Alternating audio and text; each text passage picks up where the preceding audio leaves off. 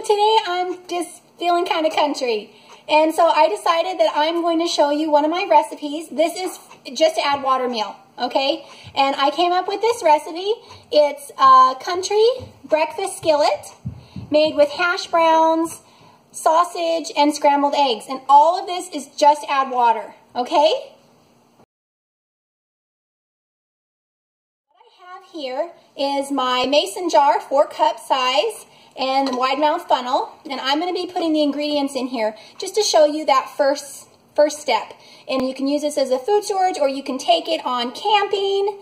I wish I had, uh, you know, the fire pit down here and, and all of that. Just to make it more authentic, I'm going to have in the background some bird singing. This is actually my little bird in my front yard who comes to sing for me every single day. I think he's a mockingbird. So that'll be kind of fun. All right, so let's get started. The first thing that goes in the jar is two cups of dehydrated potatoes. And I'm going to use the actual hash brown variety. They have this at Costco, and it's just so great. It already has a little bit of salt mixed in. All you do is add water to this and kind of let it set up and then cook it. So it works really great. I've got my reconstitute recipe on here. Um, really simple. So two cups of this. And this has already been sealed. Sometimes you can just pry them open with your hands. Oh, there we go.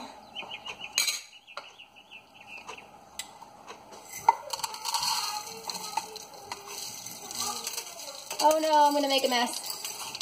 Oh yeah, I make a big mess. There we go.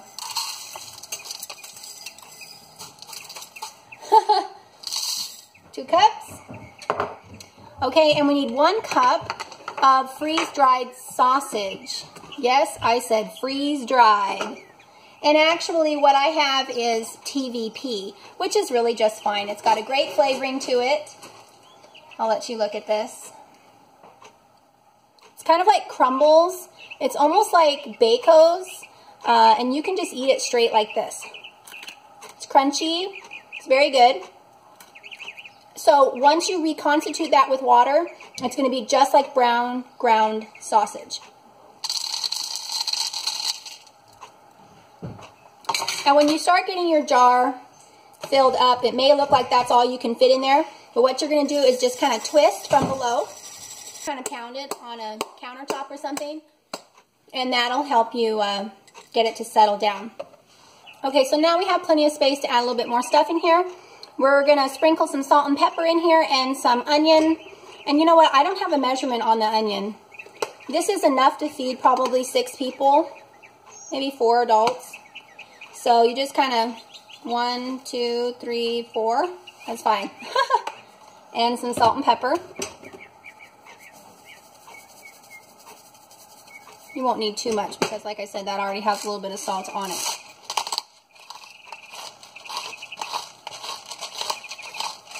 Okay. Now, we're going to leave this just like this for a moment. I'm going to set this aside. I'm going to put the rest of my ingredients in the Ziploc bag because it just needs to be separated. We're going to have two different cook times, um, so that's the reason for that. We're going to start with some scrambled egg mix. This is a dehydrated egg powder that you can reconstitute into actual scrambled eggs. This is the brand of egg, egg scrambled egg mix that I'm trying out today. It's um, Essentials. I know it says Essential, but the actual website is beprepared.com. I purchase a lot of things for my food storage from them, uh, for my dry mixes and everything, and it is pretty good. I haven't tried their scrambled egg powder yet, so we're going to give it a try.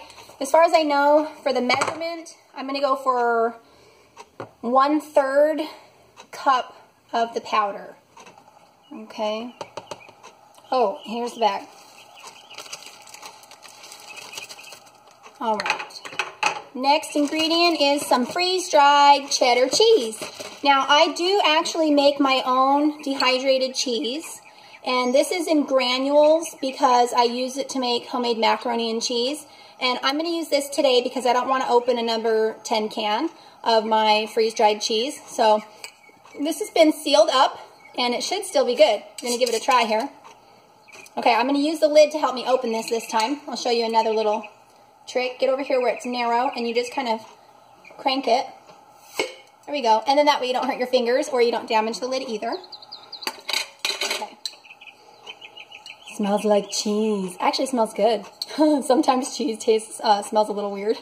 no, this is great. And it's still dry. It's very low on oil content because when I made this, I blotted all the oil off. So it's um, it's totally fine to dehydrate your own cheese if you know how. All right, so I need one third a cup of that. I can just stick it in here, I guess. This should reconstitute and melt and get gooey for you. And that's gonna just mix into our eggs to give it some more flavor, a little bit more creamy. Okay, one third cup of freeze-dried bell peppers. You know what? I'm going for dehydrated bell peppers today. The freeze-dried stuff is so expensive. It's a little bit better texture-wise, but you know, it's totally fine. Okay. And the, oh, I already had one where it was mixed. That's all right. In fact, where it was diced. You know what? I'm going to use that instead. I don't want to use the strips in this recipe. This is diced. So that's going to be easier. Little flakes, basically. Okay. Got one third a cup of that. And some freeze-dried mushrooms. I love mushrooms in my, um, what are they called? Omelets. okay, and, oh, lid. Duh. Here we go. I love this trick. Come on. Oh, this one doesn't want to go. Oh, there we go. Ah! Lids everywhere. Okay, two tablespoons. Freeze-dried mushrooms.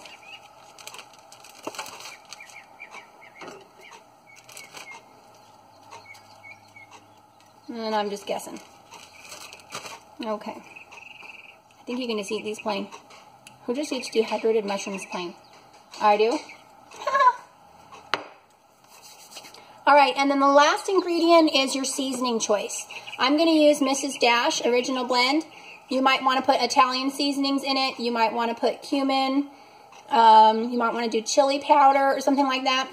That would be really good. Anything great that you would normally put in your uh, omelet, for instance. And this calls for half a teaspoon. Here we go. So this is meant to season the egg portion. You already have the seasonings and salt and pepper on your potatoes and sausage, of course. Okay, so then this little baggie you seal up, just like that, and you stick it in the jar with the other ingredients so that you can have this all in one place. If you get all the air out of the bag, it will fit in there just fine. Okay, close that back up and make sure it's down about half an inch or so from the top because when you use your vacuum sealer, the baggie is going to expand and it could prevent the lid from sealing. It might cause the lid to kind of pop off. So let me show you how I seal my jars. My husband figured out for me how to make this. I have my attachment here, uh, food saver attachment. Put that over top of the, the lid. Okay, and then this tube is the one that came with the machine. We jimmy rigged it, country style, to this other tube to make sure that it would fit uh, so that we could make it get bigger and then fit on this here. This is called a blade, uh, brake bleeder, okay? And some of you who work on cars and everything, you might know what this is. Um, but it has a pressure gauge right here. And we want to get it up to 20 PSI. Okay, so you just start squeezing it. Doesn't take too long. This is how I get really strong arms. Up to 10. You can switch arms if you want. Oh, come on. Here we go.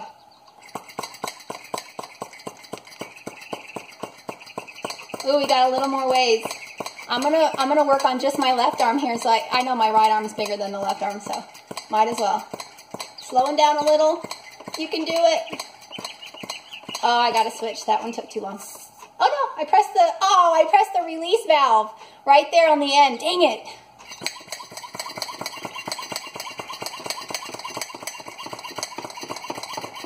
See my right arm's a little bit stronger. Almost there. Now the reason I use this, obviously, is because it only costs like 10 bucks. I didn't have to spend over $100 on a vacuum seal. Almost there. Those last few little seconds kind of took a while. Last few little notches. And then you pull out this plug. Okay, and then that allows you to be able to remove the lid. And if everything went properly as it should have, you can see that this lid is attached on there really nice. All right, and that's going to be hard to get off unless I do my little trick and everything, and it will be vacuum sealed. And then, of course, you put your ring on. So that is how you get it ready for your camping trip or to put on your shelf for long-term storage. If I remember that right, this should last more than five years, maybe even 10 years on your shelf, just like this. All right, so in a moment, I'm gonna flash back here and we're going to cook this up and see how yummy it is. I hope it's yummy. Haven't made it in a little while. I'm sure it'll be great. I'm back. So let me tell you, let's pretend, obviously, that we're out at a camp out or something. We're on the prairie and, you know, we just tied up the horses. Oh yes, I totally want to do this. Anyway, and it's time for breakfast, all right? Probably what you would have to cook with is a kettle, you'd be using the fire, and maybe you'd have a um, Dutch oven or something like that, maybe a cast iron skillet, right? So this first step that I'm about to show you is not going to require any cooking per se. We're going to start with boiling water, okay? And, you know, when you're out there in the wilderness and everything, you want your food preparation to be as easy as possible. So that's what we're going to do first. I've pulled out of the jar this baggie, and you can see that it's been vacuum sealed. All the air has been sucked out of there. All right, so let me open that. First thing that you need to do is take the jar with the hash browns and sausage and dump it in your skillet. I don't have the heat turned on yet, though, okay? And then I'm going to take four cups of boiling water and pour that over top just to get this kind of reconstituted. And that's going to sit there for about 10 minutes. For the egg portion, I need to dump this into a mixing bowl. You want to add cold water so that you don't cook the eggs yet. And then we're going to whisk that and let it set to reconstitute a little bit.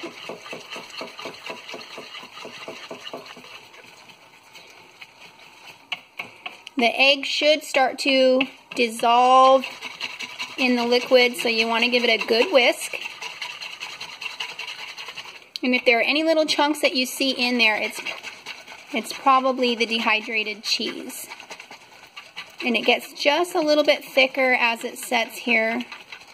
Ahead and turned on the heat, and I have not drained off any of the excess water. There's just, well, a good amount there. Um, the potatoes are almost completely reconstituted. This one here. The potatoes are reconstituted. They're nice and soft. So what we need to do now as we continue to cook is get this all browned really well, okay? There's a little bit of fat and oil that's coming off of the sausage, and that's going to help this to not stick to the pan and to help brown the sausage. I mean, to help brown the hash browns.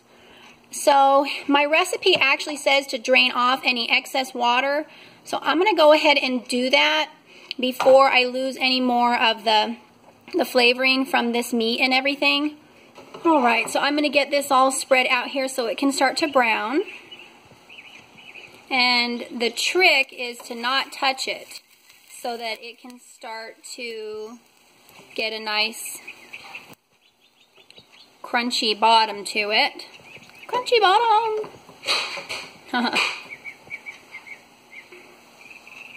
and you could add some butter to that to help it brown or if you wanted the flavor, but obviously if you're out camping, you might not have butter. I know this is the only bowl I could find. Sorry, it's kind of messed up. So you can see the cheese there, and hopefully once it starts to get hot, it will melt and get soft. So I'm just going to spread this and leave that be, and then I'll start turning it in a minute with my spatula. That looks good. I hope it turns out great. It's time to start trying to turn this over. I have it on really low. I could probably, oh that's looking good. Could probably leave it just a little bit longer. Like I say, I've not worked with this um, scrambled egg mix before. I've used other brands. I've tried it with egg powder, dehydrated egg powder, but it's it doesn't work quite right. So it is good to make sure that you have a special scrambled egg mix. Nice and brown there, nice crust. Ooh, it's smelling so good.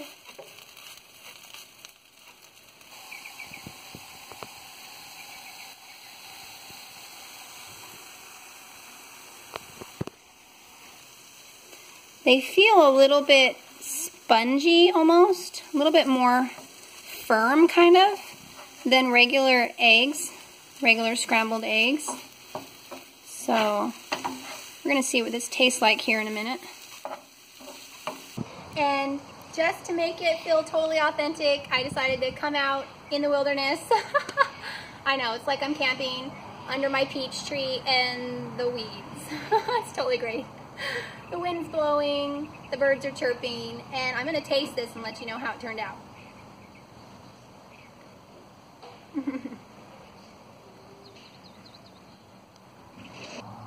Well, I'm really hungry, and it is really good.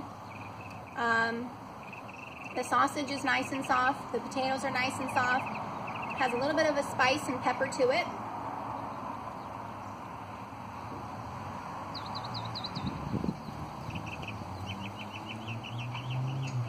Don't need any ketchup. All right, let's try these eggs. You know, the cheese did finally start to melt and it's not crunchy. Nothing's crunchy in these eggs. It's really nice. So anyway, thank you so much for watching and please subscribe and please check back every week for more cooking videos. Okay, guys? Bye.